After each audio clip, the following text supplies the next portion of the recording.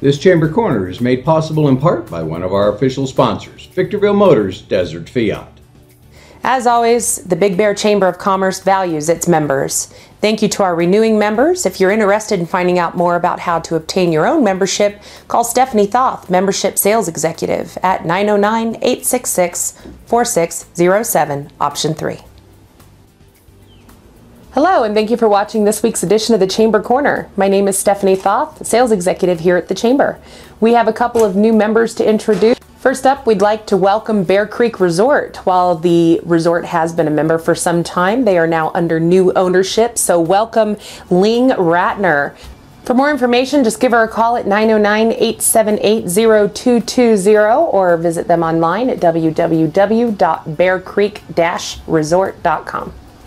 The Chamber would also like to welcome Pampered Pets with Jay McWilliams. They are a full service spa for your dog, cat, reptile, or bunny.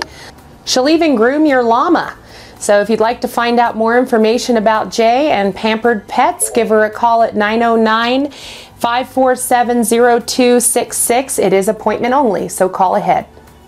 So, a little update from our Regional Traffic Advisory and Government Affairs Committee meeting. We are working with Caltrans on an East is Least campaign. During heavy construction expected on the 18330, there will be three simultaneous projects that will restrict driving down to one lane traffic control. And in some cases, it will be closed during rock scaling around the Arctic Circle. So East is least. We want you to help us direct your clientele up the 38 as opposed to the 18330. It'll be a much smoother drive for them. Uh, and not to mention our fall colors will start emerging here soon. So definitely uh, help your clientele reach you by encouraging them to drive the 38. East is least.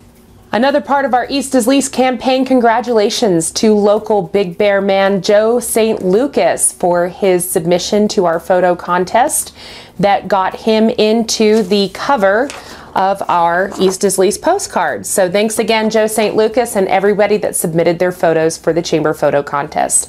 Keep your favorite photos around because we may have future contests. You never know if you could be the winner. Thank you for watching this week's edition of the Chamber Corner, and we'll see you next time.